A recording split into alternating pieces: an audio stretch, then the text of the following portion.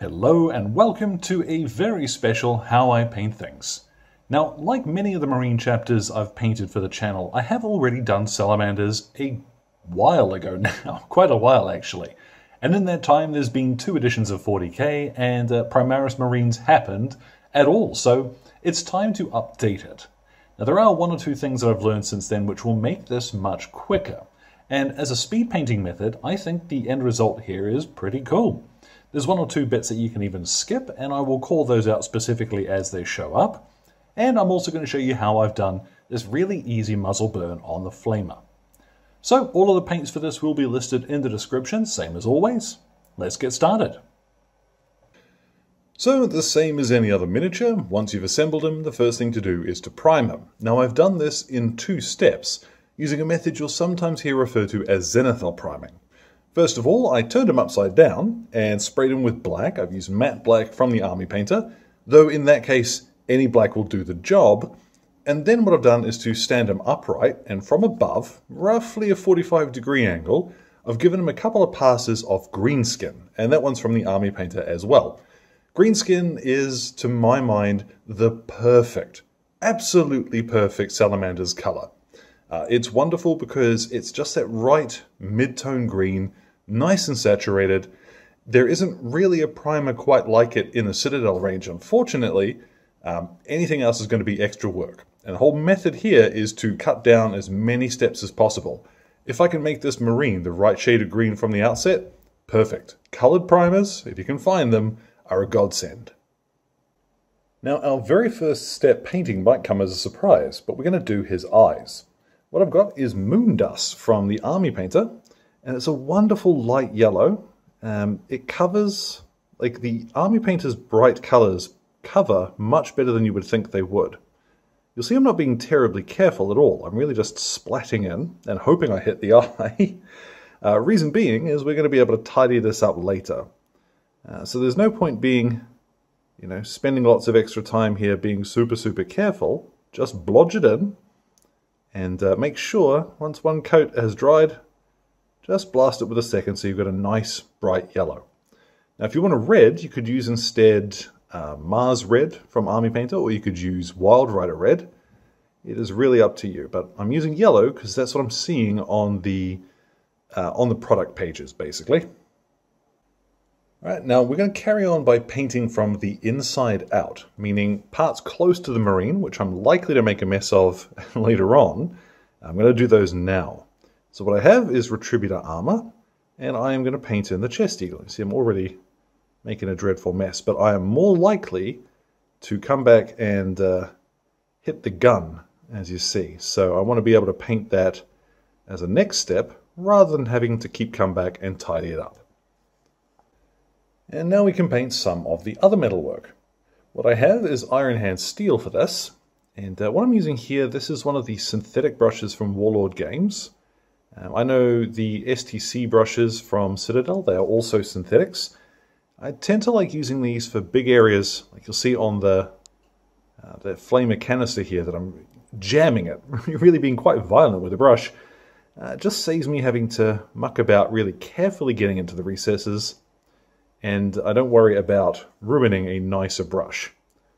When it comes to painting the little dealy boppers on the sides of his helmet though, I will swap to a smaller brush, maybe something like a medium layer brush, and paint that in with a little bit more care. Now something unique to these Infernus guys is going to be the front of the flamer. What I'm using here is Balthasar Gold. And back to my little synthetic brush so that I can really just force a bit of paint into these gaps in the flamer casing, I guess? The nozzle. Now it will take a couple of coats to get a nice solid Balthasar gold, but it is worth it. Now if you have the molded shoulder pads on these guys rather than the transfers, what I'm going to do is lay down a couple of coats of Corax white on the dragon head first. Uh, now this here, Corax white can be a bit of a tricky one. Uh, but I do recommend pop a couple of agitators in there. And uh, a little bit of Lahmian Medium will help this flow really well. I like Corax White quite a bit. I know some folks don't get on with it, but just a wee bit of prep work and you'll have a great white. Now we're going to move on to the black parts.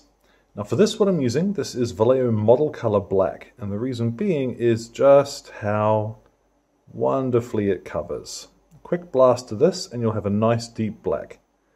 On some of the bigger flatter areas like the shoulder pads, you may find you need to give it a second coat, uh, but for the most part it just covers gorgeously. So I do recommend, if you're going to be painting a lot of salamanders, try and get your hands on some of this. Now you might see that that model color dries more matte than the rest of the miniature that we've painted so far. Now, if I wasn't going to varnish it, that might be an issue, but I'm going to varnish it, which is going to bring back some of that satin finish. Now, one thing to think about is how to paint the pack, because some folks will paint this whole thing in black, but what I'm going to do instead is to paint this top section and the covers on the little vents here in black, because from the front, I quite like how it frames the top of the marine. Uh, painting the whole thing in black would take a lot longer. Uh, you could even leave it green, but it's up to you. Now we're getting somewhere.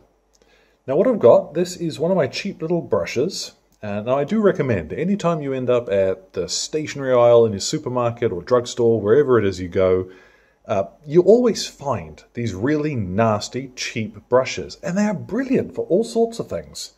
So what I've got it for is, well, dry brushing, something I can absolutely beat thickens out of, and it doesn't matter. So I have Fenrisian Grey, I'm just loading up my brush, and what I'm going to do is use this to very lightly, hang on, let's just, there we go. Always dry brush the edge of your base first. And I'm very lightly going to leave behind a bluish edge to some of the detail on the pack. If you go overboard with this, you see I might be adding just a little bit much there. Uh, what you can do is go back to that black that we've just applied. It won't matter too much. Um, and you'll be quite surprised, you can leave some of these edges a little bit chalkier than you might expect. Because once we shade it, this is all going to come together. But all the same, just to make this black section a little more interesting, Away we go, dry brush with some Fenrisian Grey. You might see some of my black tidy up still drying there. I've also added a little bit of that just to the edges of the gun, and that will work quite well. What I'm going to move on to is Black Grey from Vallejo. This is another model color. Um, it is basically Corvus Black. What I'm going to use this for is to paint in the undersuit. You can't just as easily here use the same black that you have for the armor. Uh, and this will dry much darker than it looks going on. It's going to look almost black, but it's a nice rubbery black, so it suits this quite well. I notice at this point that I actually haven't put any equipment pouches on them, but the uh, official guide, you know, the, the heavy metal look features black leather, so I've painted that in with black grey as well. Personally, I would probably lean towards something like Rhinox hide, um, a nice dark warm leather color will look a little bit more interesting, uh, but I'm just using what I've got to hand. It's nice and quick that way. Now there is one last thing I want to do before I get to my tidy up stage, and that is to dry brush the green. Here I'm using Underhive Ash. Now Ogryn Camo or Krieg Khaki will also work quite well if you happen to have those.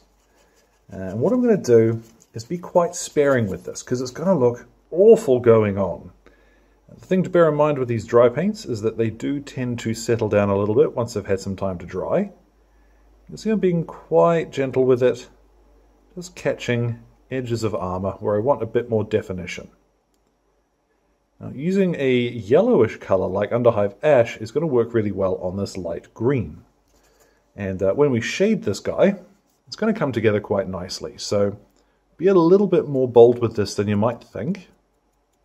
And yeah, let's come back in a second once I've done that. Now, the same as with the Fenrisian Grey, you want to be a little bit more daring with that than you might think. Um, I quite like adding a fair bit of that. You will find though with the dry paints you get a little bit of dust in some areas, which obviously it's made it's made to do. What I'm going to do is get a nice soft brush like an archaeologist and just brush that away. Now the last thing I'm going to do before shading the miniature is to grab some green skin uh, from the Army Painter. Basically anytime you have the primer spray, it's a good idea to pick up the coloured bottle as well. So what I'm doing is to tidy up those bits of green that I mentioned earlier. take your time with this and be pretty careful. Uh, but anywhere that you've gone a little overboard with the dry brushing, you can tidy up now. Uh, although, like I said, try not to get rid of some of the texture that you would have added. And once you've finished with any cleanup that you want to do, it's time to go ahead and shade him. what I'm going to use for this is an old Forge World army painting method called Marine Juice. I don't know if they've ever called it Marine Juice, it's just what I've always found it easiest to refer to it as. Now this has been adjusted from the original recipe because Nuln Oil changed formulation fairly recently and it doesn't work quite the way as it used to. So what this is, is equal parts of Reikland Flesh Shade, Lahmian Medium, and dark tone from the Army Painter. Uh, what it's going to give us is a very deep reddish shade, uh, which actually works super well for shading pretty much anything. Um, I use this as an almost universal shade, and uh, as you'll see, a deep purpley sort of color actually works super well over green. What I'm going to do is shade our entire miniature in it. And uh, once I've given him a real good bath, We'll come back in about half an hour once he's dried and uh, see what we get. And there we go. Once that's dried, I mean, that's ready to hit the table. You could base them up very quickly from here and call them done, but as always, we are going to take it just a little bit further. In particular, I want to tidy up the gun a little bit more, make that look a little bit more interesting, and maybe highlight the gold on his chest. Otherwise, that's come out pretty much exactly as I would have hoped. So that's one quick way.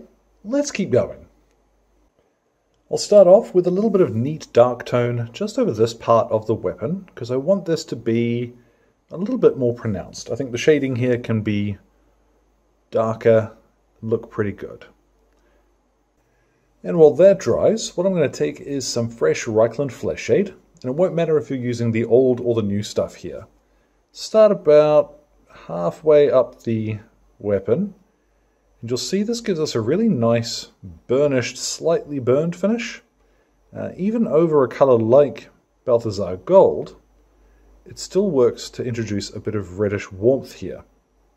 Now you don't have to wait for that to dry completely before getting some more and adding another layer, again about halfway up the section that you've just painted. So you start getting this faded, grimier effect towards the tip.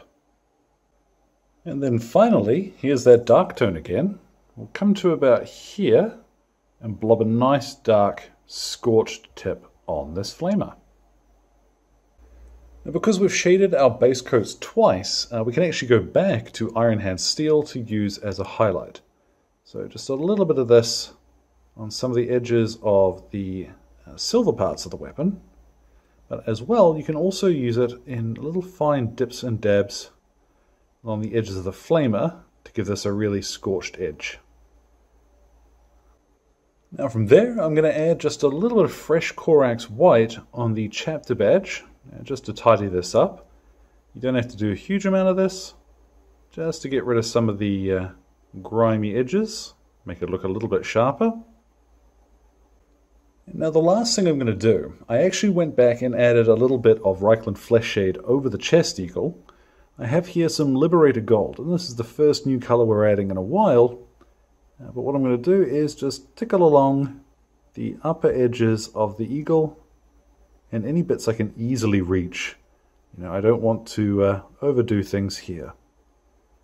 Now once I'm finished with this, what I'm going to do, hit them with a satin varnish. Uh, matte does photograph better, but I recommend with your Marines, satin usually gives it a nice shine and then I'm going to pop a base on him. The recipe for that will be in the description.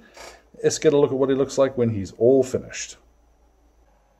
And there at last, our Salamander's Infernus Marine is complete, and I had a lot of fun doing them, as I always seem to when it comes to Space Marines.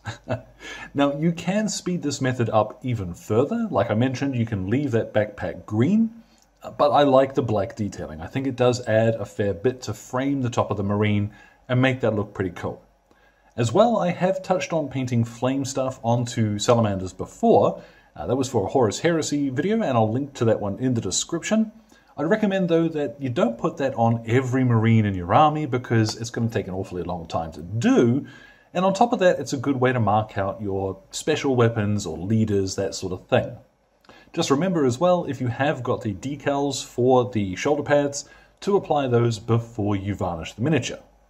So as always, thank you very much to Exit 23 Games for the light and sound equipment, as well as all of my wonderful patrons who are keeping me ticking in paints and glue, including all of my wonderful producers who are showing up on screen now. Your support is really what keeps this ticking. Any questions or anything, feel free to drop them in the old comment box below. My Twitter and Instagram are both linked there too. So thank you very much for your time, one and all, and you all enjoy the rest of your day.